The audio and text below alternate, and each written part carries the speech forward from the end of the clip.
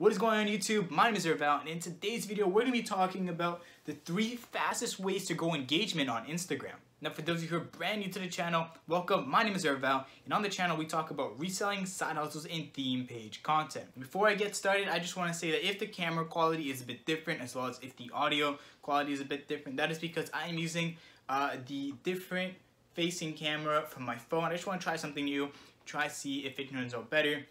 So excuse that, but yeah, let's get on with the first and easiest way to boost engagement. Now the first method that you're gonna want to use is make sure you're using all the features that Instagram allows you to use. So you're definitely gonna wanna be posting on your feed as well as your IG stories as well as your Instagram Reels. And if you want, you can post on IGTV. Honestly, I don't think IGTV will bring in too much engagement, but your three biggest sources right now are gonna be feed posts, your stories, and your Reels, because that's what's gonna be bringing in all of the likes, posts, and engagement.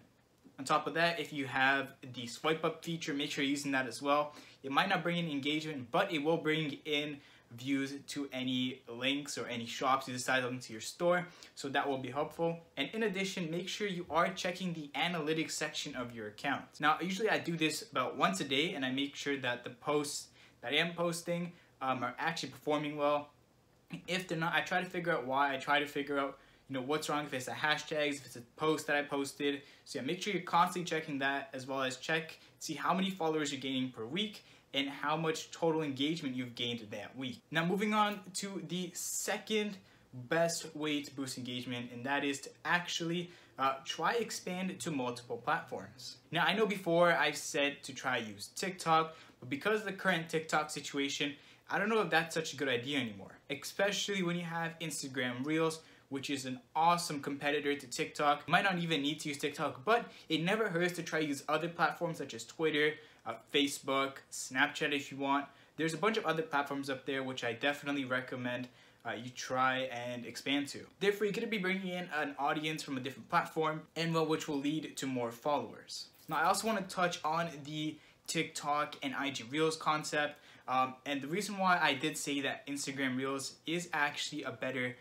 uh, I guess a better way of growing engagement than TikTok would be in bringing in those followers is simply because I've been actually collecting data over the last couple weeks and seeing which one will get me more views as well as more likes. So let's go ahead and compare that. I'm gonna go ahead and pop up the same post that I posted on Instagram Reels and on TikTok. All right, so starting off, we have this post over here. It's got 2,546 views.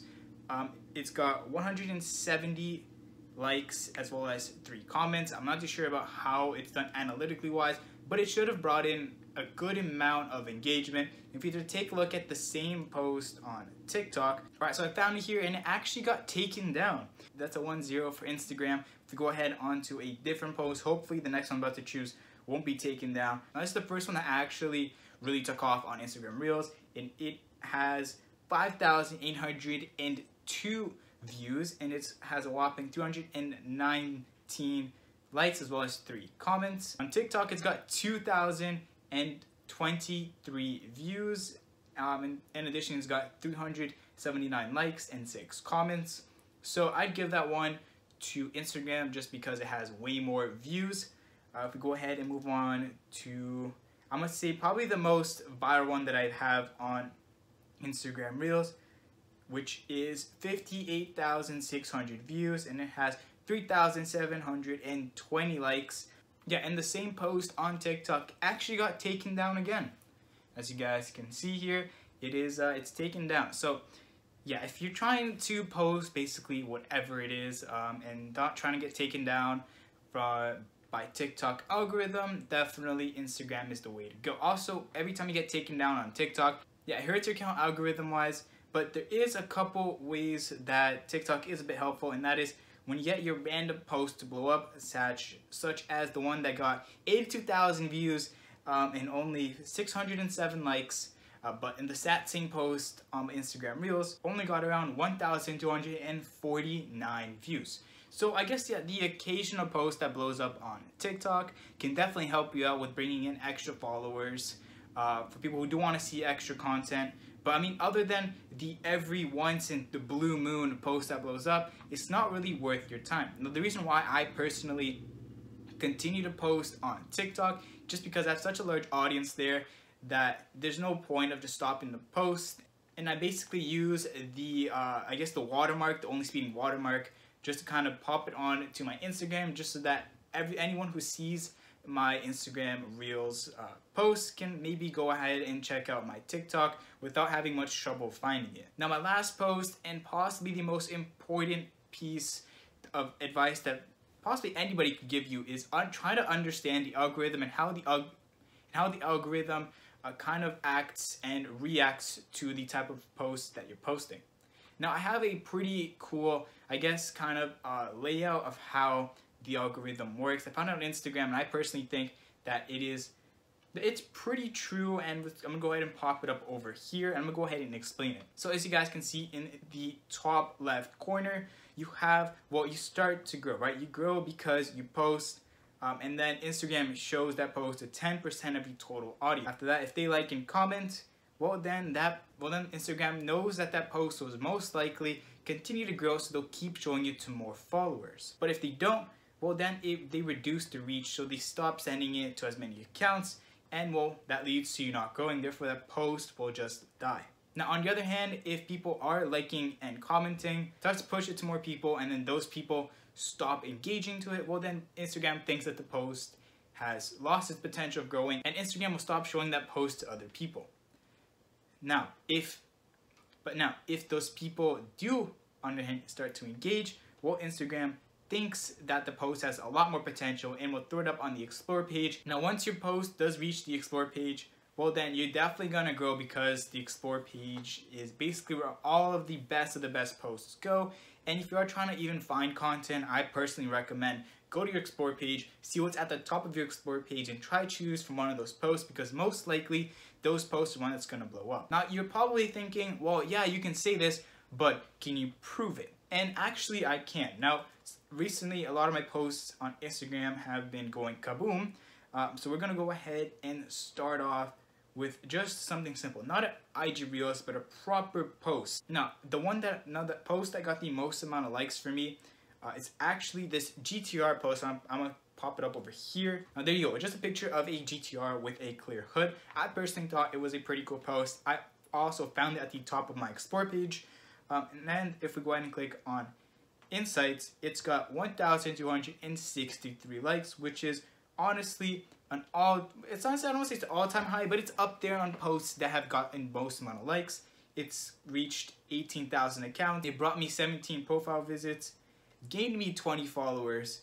Um, so yeah, as you guys can see, it definitely reached the Instagram Explore page. And if you find like unregular posts that tend to blow up, well, then you know which ones reach the Explore page because it will show you that oh, certain a certain percent of people aren't following your account, and that's kind of some sort of indication that well, yeah, it did reach the explore page, and that's good.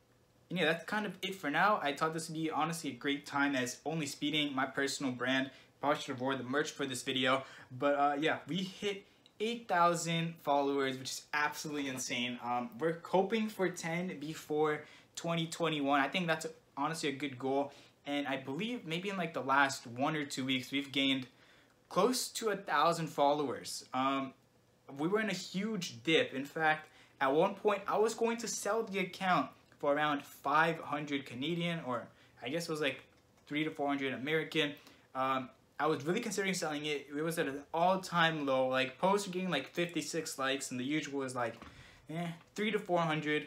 Um, so yeah, I was honestly, you know, kind of kind of getting there on selling it, but good thing I didn't because about a couple days after the transaction didn't go through, uh, we, we actually started gaining a lot more followers as well as our engagement absolutely went through the roof. I believe at one point we were at 200,000 engagement, which is absolutely mind-blowing. It's insane for such a small page. Super glad that uh, Only Speeding made a good comeback, and I guess um, and I guess what you can take away from this is just because your account goes down, which personally, uh, it happens to me, like my highs are very high and my lows are very low. Uh, it seems to be the same way for TikTok, but especially on Instagram, when the highs are high, I'm getting insane engagement and then you kind of have to ride the wave as long as you can. But the issue is you never know when the wave's gonna end. So make sure you're taking advantage of every possible opportunity you have to blow up. So if you find posts that you think have a lot of potential,